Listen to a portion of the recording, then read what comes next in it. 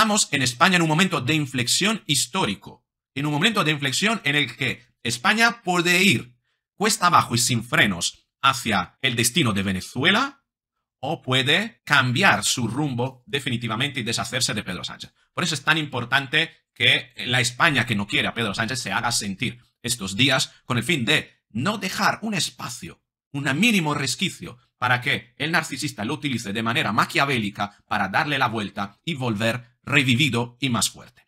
Repasando la gran cantidad de reacciones a la carta de Pedro Sánchez que analizan sus motivos y sobre todo cuál es su agenda en estos próximos cinco días, he de destacar tal vez el mejor vídeo que he visto, el mejor análisis, que es el de Juan Ramón Rayo, que te dejo eh, en la caja de comentario, no, te lo dejo como primer mensaje fijado, el enlace y también te aparecerá la etiqueta por aquí o por aquí para que puedas verlo. Pero espérate, antes, a ver mi vídeo, porque en este vídeo no voy a quitar nada de lo que ha dicho Juan Ramón Rayo, que es intachable. Suscribo plenamente incluso los silencios de ese vídeo.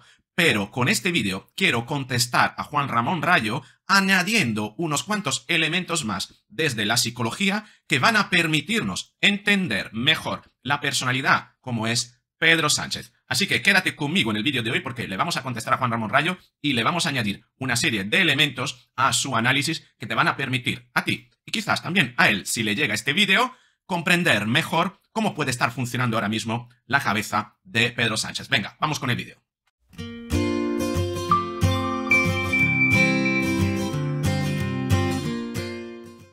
La verdad que como este es un vídeo dirigido a una de las personas que más aprecio en YouTube y un referente para mí, tendría que haber dicho, como él suele decir, veámoslo, ¿no? Y que saltara su, em, su música, ¿no? Pero bueno, nada, ha saltado la mía, no deja de ser mi canal, y ahora vas a ver el vídeo de Juan Ramón Rayo, es este, ¿Quién quiere ¿qué quiere esconder Pedro Sánchez cuando amenaza con dimitir? Bien, Juan Ramón Rayo en la primera parte del vídeo lee básicamente la carta sin hacer pausa alguno, lo cual eh, la verdad que se agradece por parte a lo mejor de alguien que no lo ha podido, no la ha podido leer, que alguien se la lea de una manera tan directa, sin interrupciones. Pero en la segunda parte, Juan Ramón Rayo lo que hace es analizar las intenciones posibles de eh, Pedro Sánchez, y la verdad que hace un análisis muy, muy, muy completo. Y yo me voy a centrar en un análisis que ha hecho diciendo que eh, Pedro Sánchez, si está dispuesto a pagar ese precio el precio reputacional a nivel interno, incluso a nivel exterior, ¿no? De, em, digamos, política exterior, eh, dando a conocer al resto de países el motivo por el cual eh, va a tomarse un tiempo para dimitir y no dimite, lo cual en los demás países está visto como algo negativo, el hecho de que un familiar tuyo esté siendo investigado por cuestiones asociadas a las políticas de tu gobierno y tú no dimites ipso facto, sino que te tomas un tiempo. La verdad que todo esto está desgastando a nivel reputacional eh, exteriormente, ¿no? En el extranjero a Pedro Sánchez. Y Juan Ramón Rayo dice, si Pedro Sánchez está dispuesto a pagar ese precio reputacional, es porque como buen narcisista tiene alguna recompensa mayor a la que aspira o la tiene asegurada, mejor dicho, con el fin de poder pagar ese precio. Sí, ¿por qué? Esto es real, es decir, esto así funciona la mente de un narcisista. Suele funcionar en términos de maximización, del, eh, en términos de psicología económica, de eh, tomando decisiones em, en pro de la maximización de los beneficios.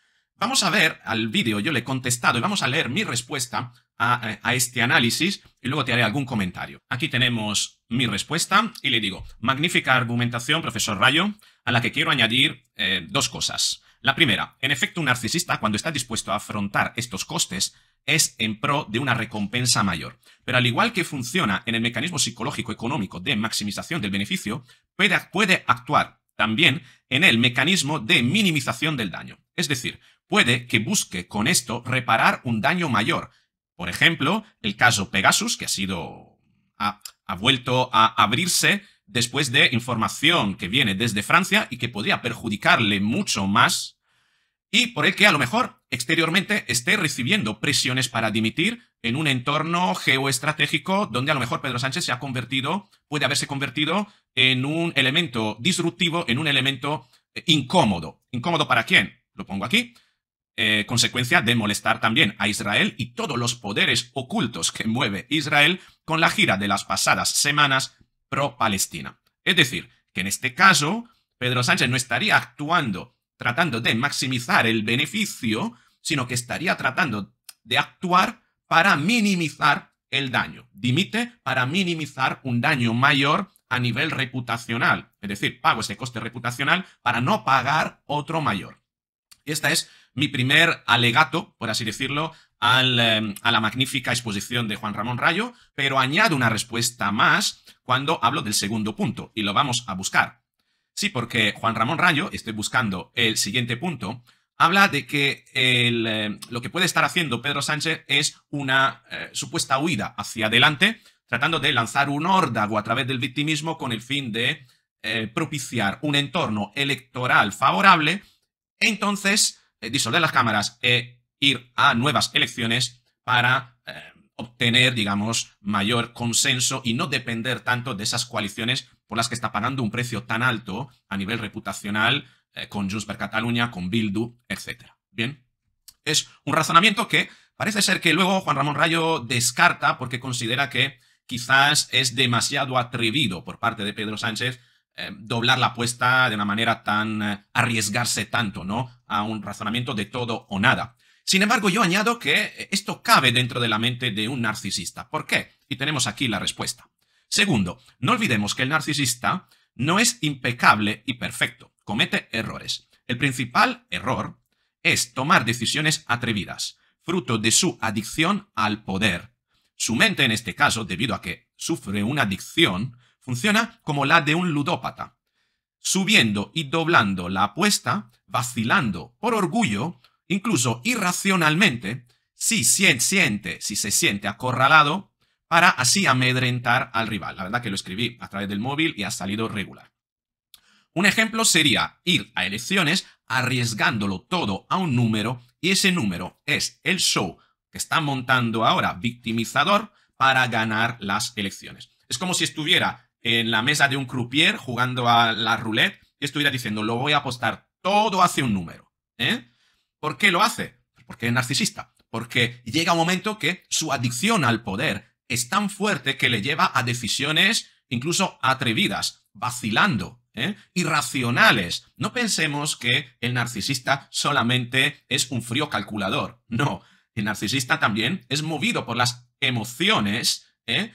Entonces, eh, bueno, eh, en ese sentido, puede estar cometiendo algún error porque se siente acorralado y ese error es, bueno, que a lo mejor no es un error, no deja de ser una estrategia. Lo hacen muchísimas personas narcisistas en entornos laborales. Por ejemplo, cuando se sienten en duda, cuando se sienten en la cuerda floja, en ámbito laboral, ir a su jefe y amenazar que se marchan. ¿Eh? O vacilarle, decirle, ah, mira, si sientes que yo no soy em, tan necesario aquí, entonces prepárame la carta y despídeme. Es como lanzando un órdago al otro con el fin de amedrentarle en su iniciativa. Bien, es un juego de fuerzas en ese sentido.